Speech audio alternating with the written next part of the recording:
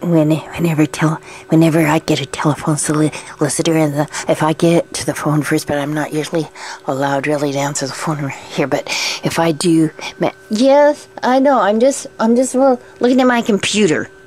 I gotta go now.